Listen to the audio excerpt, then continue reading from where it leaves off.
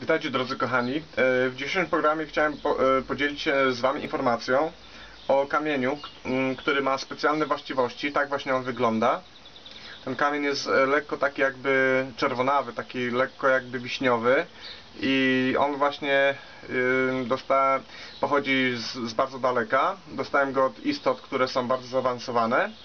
I ten kamień jest bardzo specjalny, ponieważ promieniuje na 50 tysięcy bowisów i e, myjąc go otrzymujemy specjalny nektar.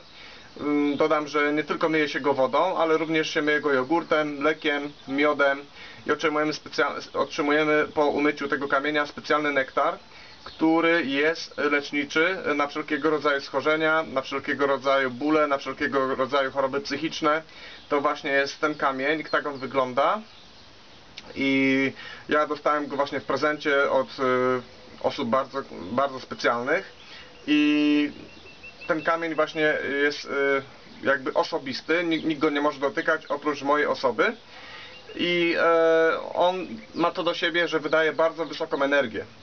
I ta energia y, powoduje y, bardzo szybki, szybki powrót do zdrowia, bardzo szybkie y, jakby leczenie się różnych chorób, usuwanie wirusów, usuwanie bakterii z, organi- z organizmu.